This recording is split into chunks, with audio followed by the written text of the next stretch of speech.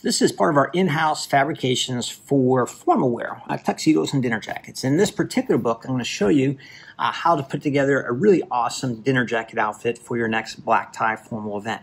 So a dinner jacket is nothing more than having the base cloth of the jacket different than the formal pant itself. For example, the very first swatch you're going to see is a bubblegum pink. So what would that look like as a dinner jacket?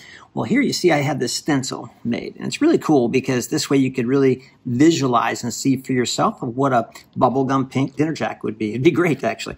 But here you see uh, the lapel, which is a shawl lapel in this particular stencil, but you can do it in a peak lapel as well.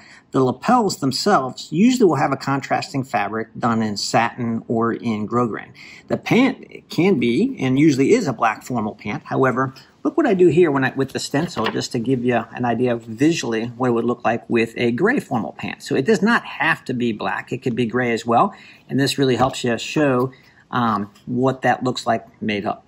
Now, I'll give you an example of some other awesome dinner jackets uh, just in this one particular book, because it really is a great book to highlight some of the other really cool colors that you could do in a formal dinner jacket. For example, this is the pale blue.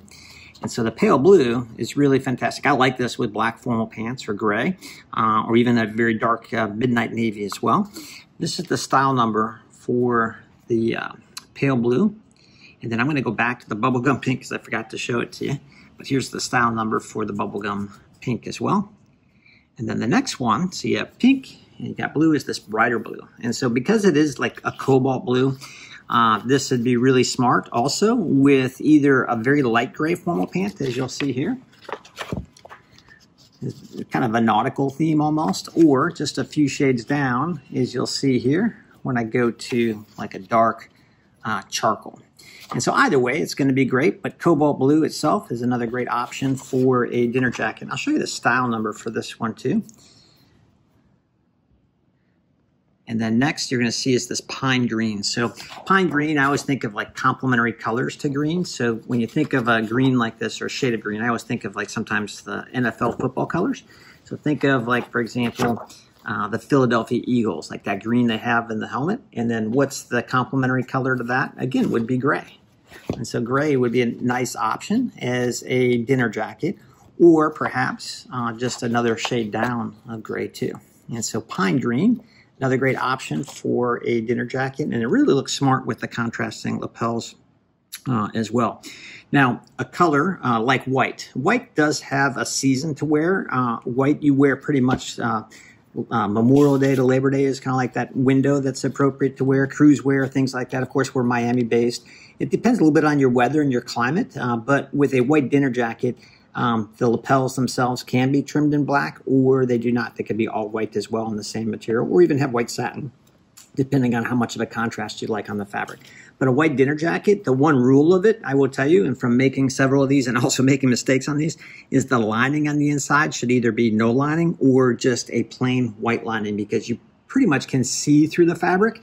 And so that's one um, little trick of the trade to tell you about it too before you make the same mistake if you custom make one somewhere else.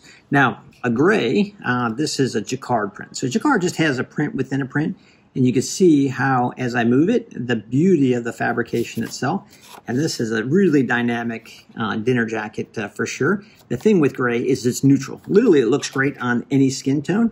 This would be very nice uh, with a very dark, dressy uh, black, for example, in a formal uh, dress pant. And so because you have texture or the jacquard print up front, the black really is a nice contrast to it for the dinner jacket. And this, if you don't want to, um, you know, if you want to have a dinner jacket that people notice when you see maybe in low light situations like four or five feet away, this would be a great option. Um, but it might blend in from across the ballroom, for example. So it depends. You know, sometimes you want to have a look that's really out there and uh, outstanding, uh, and you could see from a you know a little while away, and then sometimes you don't, but that's a great tasty way to do so. One of my favorites is the last one I'll show you, and that's just the camouflage. And so they did this in a royal blue, and you see the camel print itself. This is just a really smart, fun way uh, to do a dinner jacket, and it's dynamite with black formal pants as well.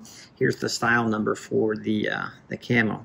But these, again, are all distinctive, really beautiful, elegant ways to uh, enhance your uh, formal wear uh, through Jaxson Maximus as part of our in-house collection.